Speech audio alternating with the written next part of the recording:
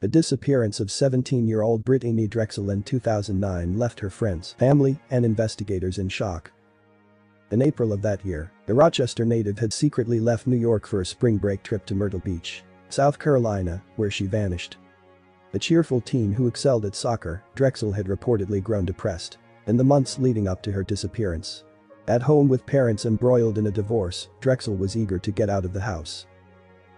Though her parents permitted her to spring break at Lake Ontario with a friend, she instead drove to Myrtle Beach, where in a macabre turn of events, Drexel vanished outside of her friend's hotel on April 25. Then in 2016, Drexel's case took an even more disturbing turn when an inmate asserted that she had been abducted and brutally killed that night. And investigators now consider her case a harrowing homicide. Born on October 7, 1991, in Rochester, New York, Brittanee Marie Drexel had a pleasant childhood Despite her biological father leaving the family in her infancy, her mother Dawn married a man named Chad Drexel who adopted and raised her as his own. Though Drexel had been born with a rare eye disorder. That required several surgeries and left her blind in one eye. She wore a contact lens to keep the right pupil from wandering and aspired to become a cosmetologist and model as a result. She also become proficient in soccer. She was full of life said her mother. Brittanee's heart was soccer. She was small, but boy, she could run fast, at lightning speed right down the field. The 17-year-old junior at Gates Chili High School was in a slump that year, however. After her parents separated in 2008, her passion lessened while her grades began to slip. This only compounded when her parents initiated divorce proceedings in 2009. Drexel proposed she spend spring break with her friends and boyfriend John Grieco in Myrtle Beach, which her mother swiftly forbade. Feigning acceptance, Drexel asked if she could spend her vacation at a friend's on Lake Ontario instead. With a green light for this, she drove off on April 22. Drexel arrived at Myrtle Beach on April 23. And called her mom from the Bar Harbor Hotel, where she and friends were staying. The following night, she went out clubbing with fellow Rochester friend Peter Brozowitz. Dawn Drexel didn't even know that her daughter's boyfriend hadn't even gone with her and was spending his break at home in Monroe County.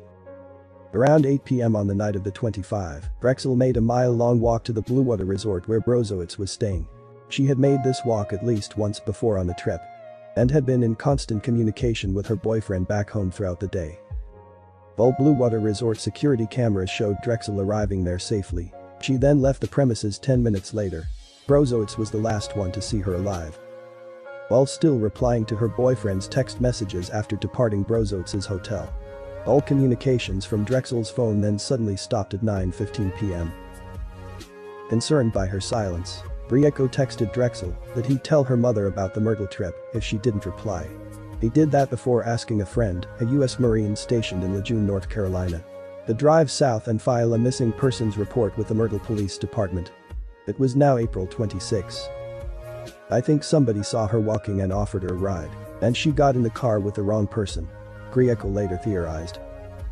In the immediate aftermath of Drexel's disappearance, some of her friends stayed behind for an extra day to help find her before returning to Rochester. Local police combed Myrtle Beach, followed up leads that she was spotted at a bus stop and convenience store, but came up empty-handed. Though her phone records showed that her last signal came from Georgetown County about 35 miles south, Drexel's trail went cold for seven years after dozens of fruitless investigations. Well the FBI joined the search and offered a $25,000 reward for information.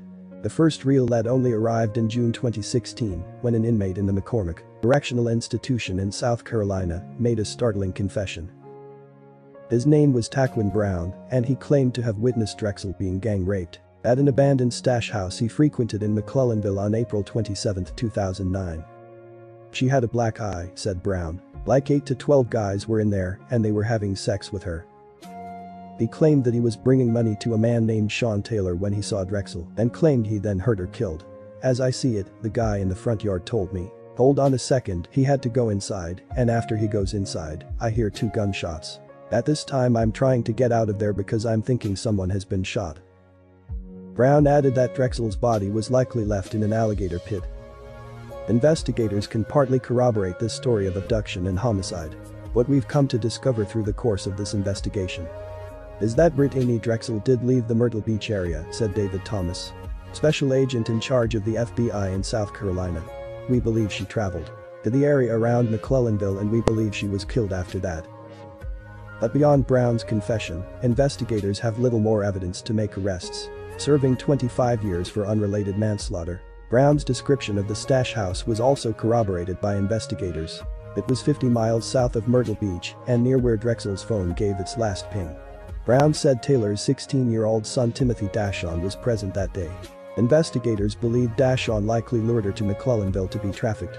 But the disappearance garnered too much media attention to keep Drexel alive. Convicted of robbery in 2011, he failed a polygraph when asked about Drexel. In March 2018, but has never been charged with her murder. Authorities brought charges against him in hopes of a confession, but it never came.